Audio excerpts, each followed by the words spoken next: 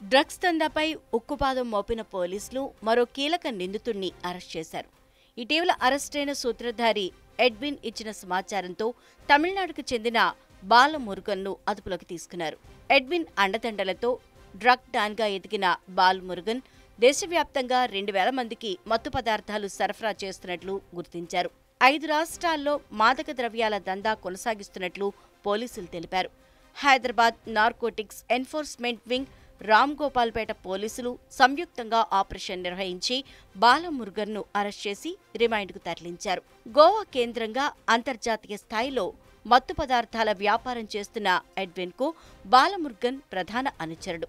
ఇద్దరూ కలిసి పదిహేనేళ్ళుగా దేశవ్యాప్తంగా ప్రధాన నగరాలకు మత్తు పదార్థాలు తరలిస్తూ కోట్లకు పడగలెత్తారు.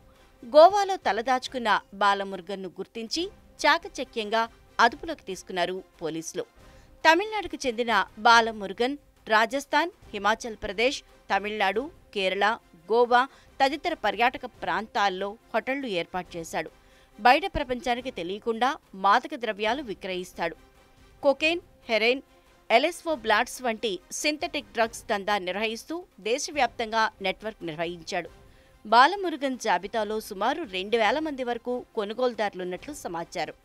వీరిలో పలువురు రాజకీయ సినీ వ్యాపార రంగాలకు చెందిన ప్రముఖులు ఉన్నట్లు తెలుస్తోంది. చివరకు హెచ్ఎన్ఈడబ్ల్యూ పోలీసులకు చిక్కి జైలు వచ్చ లెక్క పెడుతున్నాడు బాలమురుగన్.